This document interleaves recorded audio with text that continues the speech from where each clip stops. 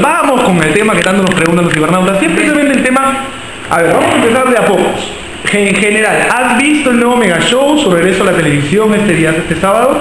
No, no he podido verlo, pero tengo amigos que trabajan ahí y Ajá. tengo entendido que están trabajando muchísimo en, en plantear un formato que sea entretenido, que sea agradable y, y- y bien por ellos, ¿no? Ujú. Bien, ahora, ah, particularmente, tú sabes que el incidente que volvió a traer a colación el tema de los desacuerdos o los posibles eh, dimes y diretes con Tula, precisamente esta conferencia en la que no se presentaron juntas, ¿no? Entonces, personalmente quedó un malestar de su parte.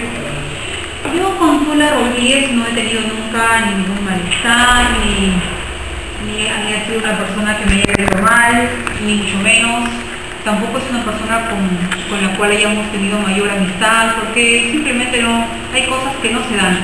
Pero tengo que reconocer, sí, que el día de la conferencia, cuando todos los periodistas me dijeron, el día de Tula, cuando se enteró que estabas, pues decidió pararse e irse.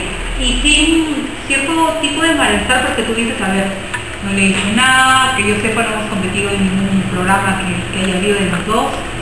Y por qué esa reacción, pero eso ha sido unos cuantos segundos, porque yo soy muy calmada por naturaleza, soy muy relajada, soy muy tranquila, entonces también le doy importancia a las cosas conforme la van teniendo, ¿no? Así que eso fue un malestar de 5 segundos.